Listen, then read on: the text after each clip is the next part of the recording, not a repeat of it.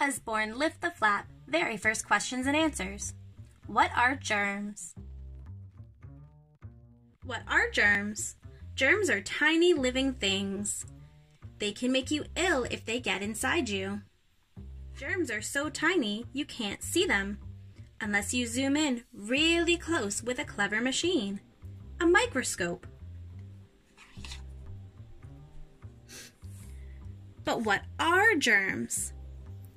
Germs are viruses and they're bacteria. They can be viruses like the flu, cold, and chickenpox. He has the flu, she has chickenpox, and he has a cold.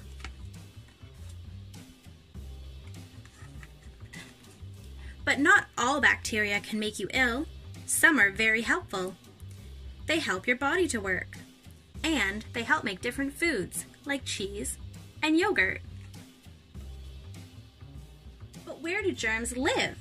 They live everywhere. On your hands and on the loo. So wash your hands and keep the loo clean too.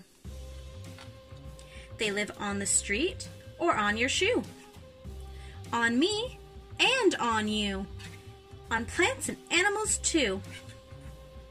They like soil and they love poo. There are more than you think on the kitchen sink. One germ quickly turns into many. One splits into two, two splits into four, four splits into eight, and so on, until there are millions of them. So, how do germs spread? They can spread through cuts. You shouldn't touch a cut, you should clean it and put on a plaster or a band aid. They can spread on your hands, so don't put your dirty fingers in your mouth and wash your hands often. They can spread on animals. Flies can carry germs, and so do pets. And they can travel through the air. Achoo! So cover your mouth when you sneeze or cough. Trap your germs in a Kleenex and put them in the garbage, and then wash your hands. Can my body fight germs? Yes! Your skin keeps the germs out. If you get a cut, your blood will make a scab to cover it. If germs get in your eyes or your mouth, they get flushed out with tears or in your spit. Germs in your nose get trapped by your nose hair. And if germs reach your tummy, your tummy juices will kill most of them.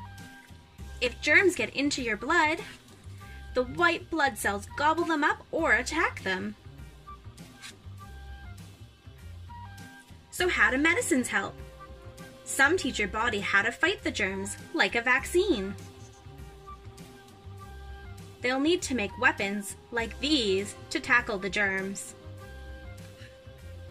Other medicines fight the germs for you, like an antibiotic.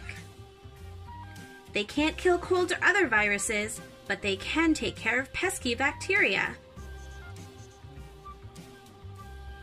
Some medicines come from unusual places, like plants.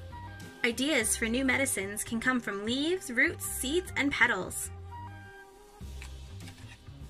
Or from animals.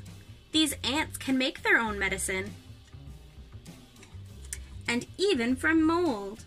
Here's some close-up of a mold. It can kill bacteria. So how can I stop germs? By keeping surfaces clean. By washing your hands with soap and water.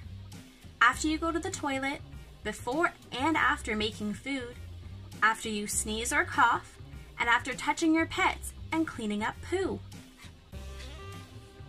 After you clean up your pet, wash your hands,